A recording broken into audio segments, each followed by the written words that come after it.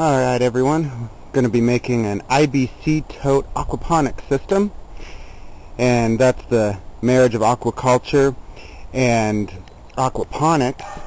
And so we're going to have fish in the bottom and plants up top. But I'm going to step by step this for you. The first tool that I used was this. It's kind of an odd uh, star end. And that just happened to be the uh, the bolts that I had on these two top bars so you got to take those off so that the tank will slide out of the cage. Alright, the next thing, I just use that same tool here and just uh, pop off like so. And this part here just kind of, you can just pop that off too. But yank off these panels. Then the next thing, get your grinder and we're going to grind right here and that's so we have this nice cage segment for the uh, top grow bed. So I'm going to go ahead and do that, and I'll catch you up. Alright, I got that cut. took me about 10 minutes. It's a bit of a journey, but that's the step that uh, probably the most uh, dangerous step where you want to use protective equipment, uh, you know, ear protection, eye protection. Watch how you're grinding and cutting with that with that uh, grinder. But you can cut these in different places. I'm going for this a nice rack for the grow bed here. And I'm also going for a nice bottom because it's going to be sitting in dirt. Some people cut them down here and they'll use this bottom section for their grow bed on top. Um, now if you have this pointing down then this would just shoved directly into the earth with all that weight. So there's a little bit of engineering in this, where you cut it and how you deal with the ends of this. But I'll show you how I'm going to deal with that in just a sec. And here's how I dealt with all those pieces sticking up. I pretty much just went ahead and cut them all off. And so now i have got two nice cages that are going to work really well for the fish tank and really well for the grow bed. Here's the thing, um, sort of a simplified rule of thumb is a one-to-one ratio. So if I had, let's say, three feet tall of uh, this fish tank and the same dimensions, one foot tall of this grow bed, I could actually have three grow beds this size off of a fish tank this size.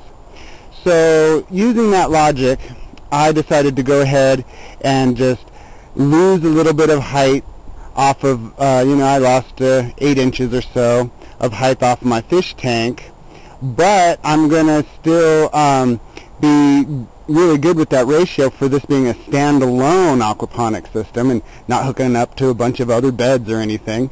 And um, not only that, I got two nice cages, and I have the foundation down at the bottom, so I can put this in the dirt. So these are all things I considered. You look at some other designs, and uh, those are some of the things I didn't like and tried to improve in this design. But I'll show you the next step in a minute. Alright, next step, next tools. Use some sort of a straight edge and a Sharpie and mark all around the tank where you want to cut it with your jigsaw. Uh, jigsaw cuts through it real nice and easy, so I'll go ahead and do that. Almost at the final stage here. All this wiring I'm going to tuck underneath and have that all routed into some sort of plastic container. Got my light hooked up. The T5 bulbs, the, the ones I like the best. Uh, started framing everything out, sort of just mock fitting everything. I got to get some more lumber. Got my pump in there, the aerator, got my hole in the bottom. So uh, you can start to see what it looks like at this stage, but not quite done. Alright, I thought I'd show you the next step I just completed. I ground down all the edges really nice, and then I built this wood frame. So basically it's just uh, 2 by 4s but don't forget, we also have this metal bracing underneath on the cage. And that's one way, one of the reasons I like this design much more than any of the others. And then you got the solid foundation if you wanted to put this on dirt. So uh, just completed the wooden triangle, and I'll go on to the next step. thought I'd show you this before I put the top back on. Uh, when you're doing your wood edging, if you want to do that, you can screw straight down into these metal, the metal framework. And it actually grabs really tight. So all of this is now all screwed together and screwed down to the tank. Also on this fish tank part, you can tuck tuck everything under. You can't even really see it, but you can pin the tank in with the screw. Just hide them so people can't see them or get caught on them. And then your tank is all tucked in nice and you got a nice wood edging. But uh, there's that before I put the uh, grow bed on top. You wouldn't be able to see it as well. Alright, next up. Pretty much wrapping this up. Got a nice little shelf here from our triangle support structure. And this is going to go in a greenhouse. So I just tucked all the electrical underneath. You could put, uh, you know, mount underneath there a waterproof container and put all that in there and silicone up any holes. That'd be a pretty legit way to do it. But there's that and our lighting, T5 lighting, only 25 watts. And then I'm going to just, you could do a bell siphon if you're going to do ebb and flow type of a system.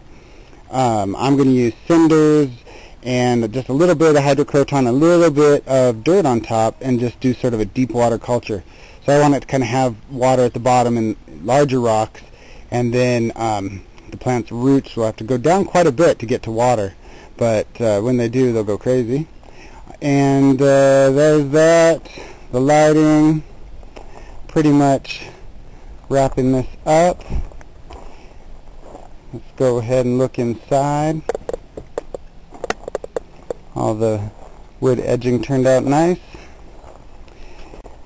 We've got two air stones, one up at the front, one at the back, and then there's our pump and downspout. Don't need too big of a pump, just as long as it can do the vertical rise of three feet, pretty much all set, at least with the deep water culture setup I'm going to be doing. So uh, there you go. Maybe I'll do an update video when I have a whole bunch of growing plants and fish in there. But that's all we're needing at this point, uh, besides the substrate, some plants and fish. Um, I think I'm going to do catfish and sunfish. They do well. If you're going to do tilapia, you'll need to put a heater in there. Alright, well, have fun with that.